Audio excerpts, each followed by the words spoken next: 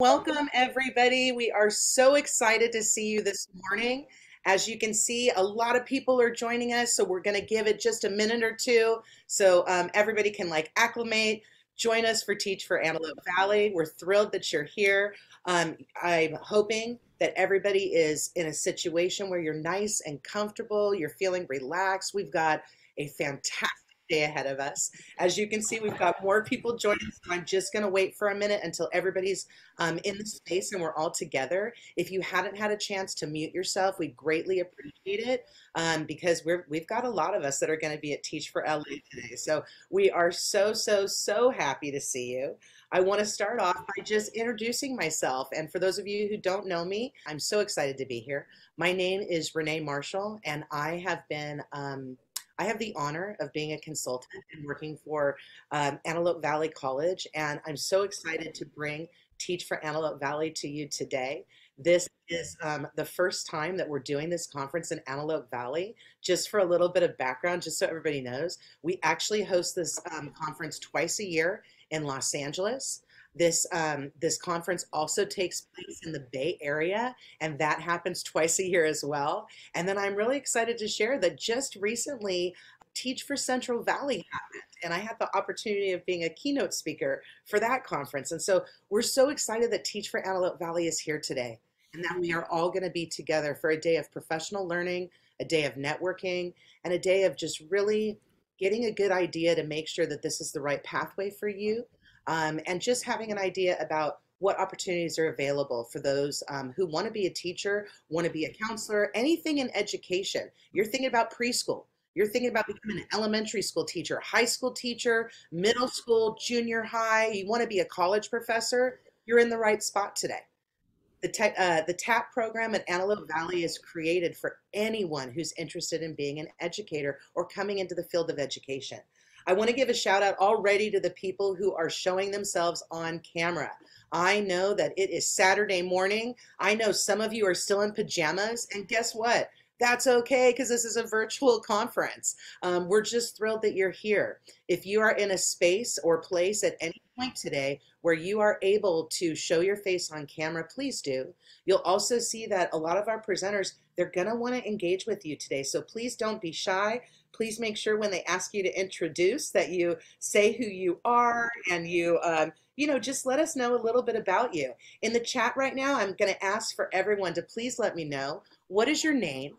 Um, what school are you at? If you're not at a school right now, no worries. If you are at a school, great, let us know. And usually by a school, it could mean that you're at a college student, maybe you, and you're in teacher prep. Maybe you're at Antelope Valley College. Maybe you're at one of the LACCD colleges. Maybe you are outside of California. Guess what? In the virtual space, we all get to be here together, which is so exciting. And if you are not at a college right now, but maybe you're working for a school district, maybe you're a paraeducator, a yard duty supervisor, um, maybe you're already a teacher. That's fantastic because we have stuff for you today too. Um, so I just want to let everybody know um, my name's Renee Marshall. I have had the honor of working in teacher preparation in the community college system for the last, um, goodness, oh my gosh, since 2004. And um, for those of you that are local who are on this um, on this conference right now, I actually had the opportunity to serve at College of the Canyons, which is one of our neighboring colleges with Antelope Valley College, and um, just thrilled to be here, thrilled to be together. If everybody could please in the chat introduce themselves, let us know your name and your college or your school, but also let us know what are you most excited about when it comes to Teach for Antelope Valley today? Let us know. Maybe it's you cannot wait to go see Brandon when he does his presentation on JPL. JPL, Jet Propulsion Laboratories, that's NASA, everybody. We have a NASA scientist here today who's going to be with us. We also have a panel of educators that focus on STEM in their classrooms. We have um, we have people from early childhood education, people who are going to teach you about how to become a K through 12 educator and what all the requirements are to get a teaching credential, whether it's multiple subject, single subject credential, special education credential. And we're not going to focus on this today, but I do want to let everybody know for those of you in the early childhood education space or considering that, just know that next month, the California Commission on Teacher Credentialing should be voting in a brand new credential. And guess what, early childhood educators? It focuses on PK to three grades. So all your child development, that can be your focus as you're um, completing your credential program. Anyways, we are so thrilled for everybody to be here today. It's really going to be a wonderful, wonderful day. We already have 77 of us in the room at uh, 8:07 a.m., which is a great, great, um, you know, great show already, and we appreciate it. Um, I also want to, oh, I love, I'm looking in the chat right now, and I love to see what people are looking for. I love that somebody said, I'm super excited to hear about becoming a special education teacher. Right now, special education is one of the hottest areas, hottest areas of need um, for education. Also, bilingual education, also K through 12 education. We also need faculty right now. We need um, one of the biggest needs we have right now is actually for early childhood educators just so everybody knows, by 2025, so we're really talking just a, a blip of time, we are going to change transitional kindergarten where suddenly every single four year old in the state of California is going to be eligible. It's not going to be like this little window anymore. So, for anybody who's thinking about working with younger children, just so you know, in the next two years, we are going to need 14 thousand transitional kindergarten teachers just for one grade level. And just to put that in perspective, everyone, last year the Commission on Teacher Credentialing granted just about 16,000 credentials for every grade from TK to 12. So 13 grades needed 16,000 credentials last year. In two years, we have one grade that's going to need 14,000 people just for that grade. Anyways, it is a time of opportunity. It is a time of um, making change in education. It's a time of doing what's right and helping children to recover, children and teens and adults to recover from the pandemic. You know, we're learning a lot about the learning loss. A lot of data has come out recently about the standardized testing in K through 12. I got to be honest, as a mom of two kids, I was surprised our system even tested the kids last year. The kids are out of whack, everybody. They need us a lot right now and they need us in a whole different way than we've shown up in the past. So the fact that it's Saturday morning and you're here already, it shows me that you're the kind of person who's going to be showing up for the students in your classroom. And I want to say thank you because they need educators and they need educators who are going to help change people's lives. Um, I know that sounds dramatic, but I'm serious. It, this is this is part of part of who we are and what we do as educators. I also want to just um, mention too, for those of you who are on right now joining us, and if you're a first generation teacher, first generation student, I want to let you know that one of our breakout sessions today is specifically focusing on being a first generation student. And I'm proud to say that that session is led by a first generation student who's now a professor in the community college system. And she's a fantastic role model. Anyways, I hope that today everyone finds something that's going to feel right. Um, that's what that's what Teach for Antelope Valley is. This is all about resources and getting things into your hands so that and networking so that way you're the best educator you can be. Also, a little bit later in our opening session today, I'm going to share kind of like a cool little thing that I've got coming up next week, a kind of special plus for anybody who's here at the at the conference. So make sure to stay with us. We, we're going to have opening session for one more hour, and then we have a five minute break, and we go straight into all of our breakout sessions. So it's going to be a long day. It's going to be a fantastic day. Thank you so so much for being here. Now, before we get going with our next speaker, I just I just want to have a second to um, talk for just a moment about Teach for Antelope Valley and the person who's leading this charge. Jane Bowers is a leader in education. And we're so lucky that she's situated at Antelope Valley College. Jane's going to share with us a little bit about her story as an educator and how she got to lead the TAPP program at, at I almost said College of the Canyons, Jane. Sorry about that. At Antelope, Antelope Valley College. Um, in addition to that, we're also going to talk a little bit about just the origin of the program and how thing how how did Jane kind of take over and what she's been doing with it.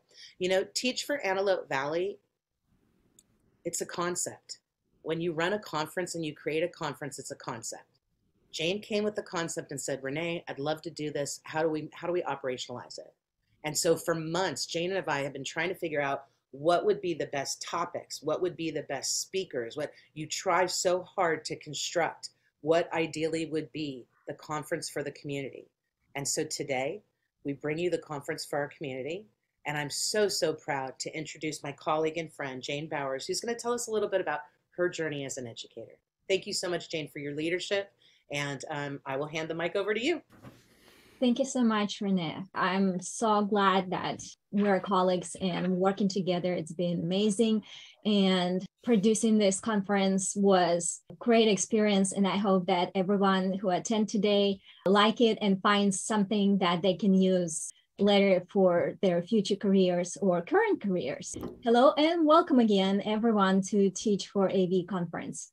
My name is Jane Bowers. I teach mathematics at here at Antelope Valley College. And I'm also a project director, as Renee mentioned, for the Teacher Accelerated Preparation Program, the program through which this conference came into life. I took the lead of this project last year when my dean, Christos Valiotis, he's here uh, too, and he's going to be uh, speaking later as well, asked me if I would like to work on this grant. This program is funded by Title V federal grant I read the grant and I realized what an amazing opportunity this grant provides for the community to increase the pathways for those who would like to go into education. And I just knew right away that I wanted to be a part of it. My journey to teaching, my personal journey wasn't straight. I mean, I always wanted to be a teacher and when I was a little girl, I would sit my toys in front of me and I would pretend it's a classroom and I'm a teacher and I teach my toys.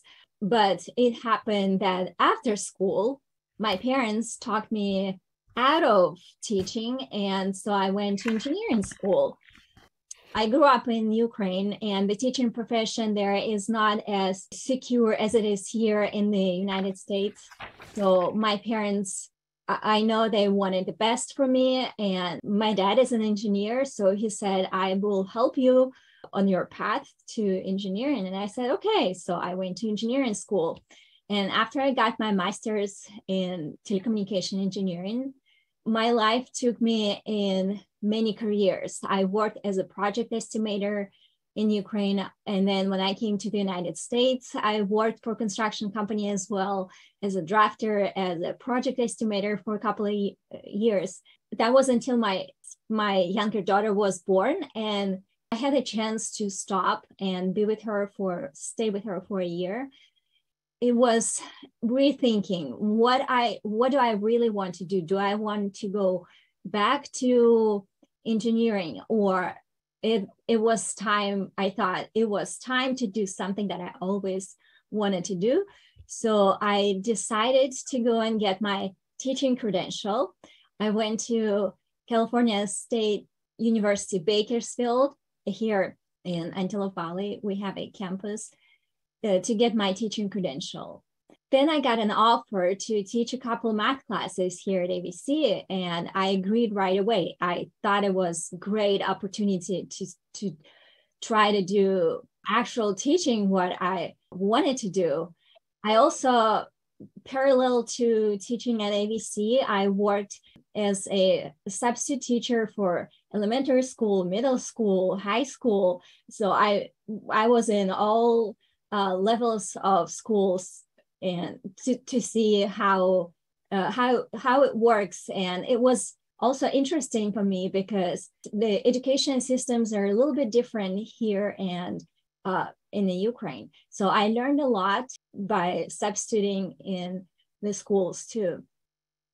So when I received an offer to take the lead for this project, I was very excited this opportunity because not only because I so how much possibilities it opens for the community, but also it felt personal to me.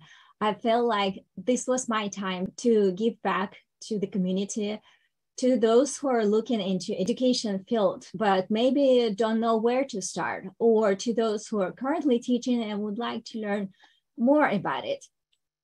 You know, some people might try to talk you out of teaching profession because they might think it's too challenging. And yes, I don't disagree. At times it is challenging, but out of all professions that I had, teaching for me is the most rewarding. To tell you the truth, all professions have their pros and cons and their own challenges. And I like teaching also because it allows me to share my knowledge, what I know, what I learned. I believe that knowledge is the most valuable possession that you can have, something that no one can take from you. Also, knowledge is something that must be shared. It's like a glass of water. If the glass is full, it cannot add more water. So it has to be shared. And remember, certain parts of this path are going to be challenging, but don't let it stop you from becoming an educator. For example, my husband is a teacher too, and it took him time to try to pass the math portion of the CBEST. My husband finally was able to pass the test when I started tutoring him in math. Now he's teaching, he's been teaching for uh, over 15 years now. CBEST has two parts English and math. For example, for me, the English part was the most challenging because English is not my first language. So I started with ESL classes here at AVC. I took ESL classes and then I took English classes. And then I was able to pass CBEST. Then I was able to apply to the program. So don't let challenges stop you on your way to your dream career in education. Today's conference will have a focus on STEM education, but we also have many sessions on different levels teaching in elementary school, middle school, and high school. We have great presentations prepared from you from JPL, from the representative of various high school districts, and more. The TAPP program is here to support anyone interested in a career in education. And I also wanted to thank people who helped and supported this conference. Renee Marshall, the grant consultant, Christos Valiotis, Dean of Math, Science, and Engineering Division, and Dr. Zellet, uh, Dr. Jennifer Zellet, the president of Antelope Valley College, for providing their support for this program and support for the community. Now I want to introduce to you Christos Valiotis, Dean of Math, Science, and Engineering Division, who wrote this grant proposal and who made this program come into life. Christos.